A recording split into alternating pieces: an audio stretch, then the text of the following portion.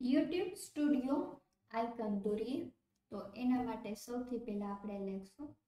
Hexagon shape ઉપર click કરીશું. અને રેડ કલર ઉપર ક્લિક કરીશું. રેડ કલરને થોડો આવી રીતે કાંટો દોરી લઈએ. ઓકે ઉપર ક્લિક કરીશું. કલર ટુ છે એ પણ એવો કરીશું અને અહીંયાથી આપી દઈશું સોલિડ ફિલ્ડ. ત્યારબાદ આપણે એને દોરી લઈશું. શિફ્ટ કી દબાવો તો એકદમ મસ્ત સેવ થશે ત્યારબાદ શેપ વન છે વ્હાઇટ કલર કલર ટુ છે વ્હાઇટ કલર ફરીથી આપણે અહીંયાથી લઈશું નો ફીલ અને અહીંયા ફરીથી આપણે એનો શેપ છે આવી રીતે દોરી દઈશું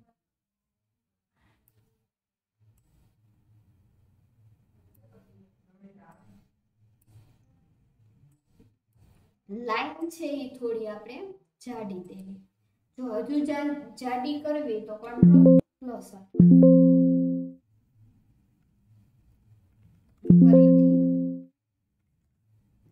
આપણે એને દોરી લઈએ. અને લાઈનને જાડી કરવા માટે કંટ્રોલ પ્લસ આપીએ. એટલે એકદમ લાઈન છે એ કેવી થશે? જાડી થશે. ત્યારબાદ આમાં વચ્ચો વચ્ચે આમ મૂકી દેવાની. બહુ જાડી થઈ ગઈ તો પાતળી કરવી તો પછી કંટ્રોલ માઇનસ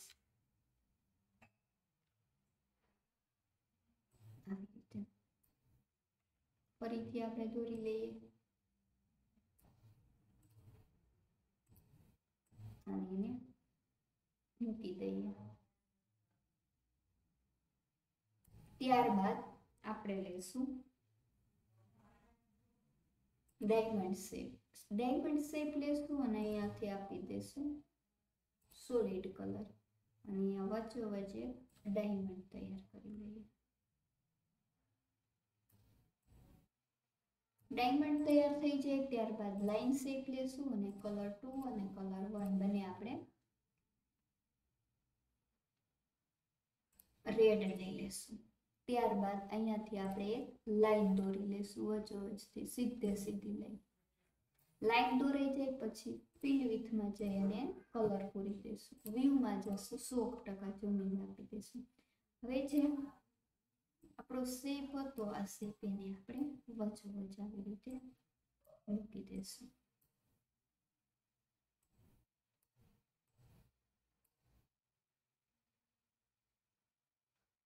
અહીંયા થઈ ગયું ત્યારબાદ આપણે એને નામ આપી દઈએ અહીંયાથી.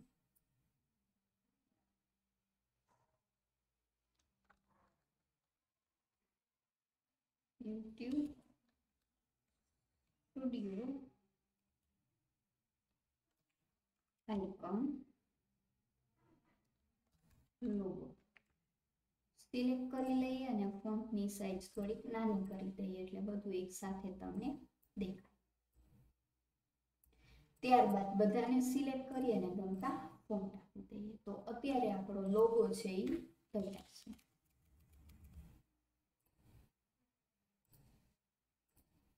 Thank you